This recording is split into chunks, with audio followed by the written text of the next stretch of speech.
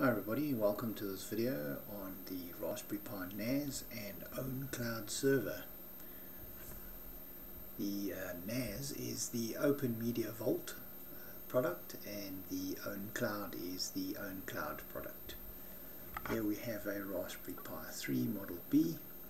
Um, we've basically downloaded and written the image onto a micro SD card which we simply uh, insert into our Raspberry Pi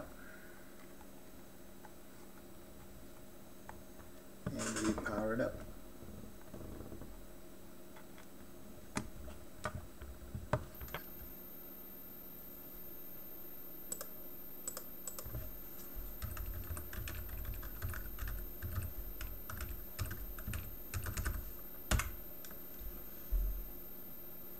Right, so here we have the Open Media uh, Vault uh, login.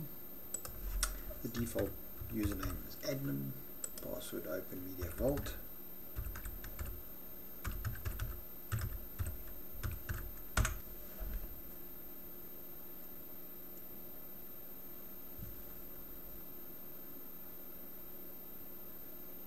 Right, while that screen is opening, we'll connect to the, uh, the own cloud server.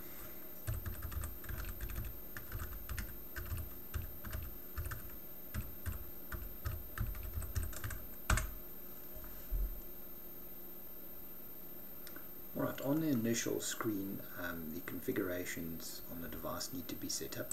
So the first default login is admin, password admin,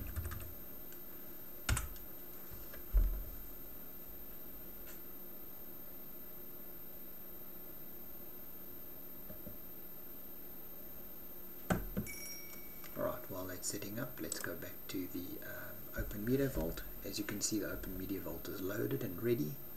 From here I can attach storage, which is the drives, physical disks, file systems, etc. I can then proceed to enable services. I can then create the shares, the groups and the users, and I can utilize the NAS. Alright, the OwnCloud is now loaded. It's advising me that I can load an app from my App Store.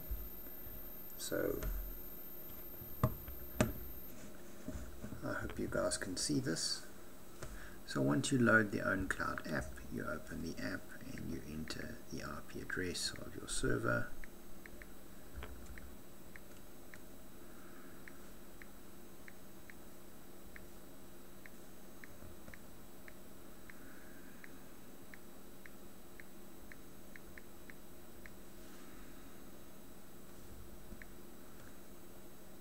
As you can see the connection is established